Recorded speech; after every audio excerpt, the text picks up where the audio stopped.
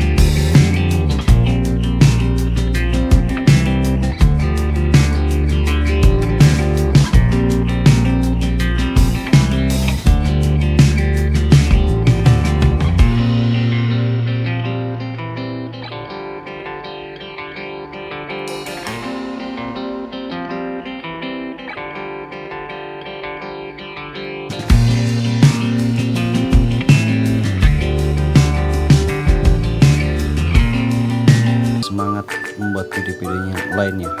Terima kasih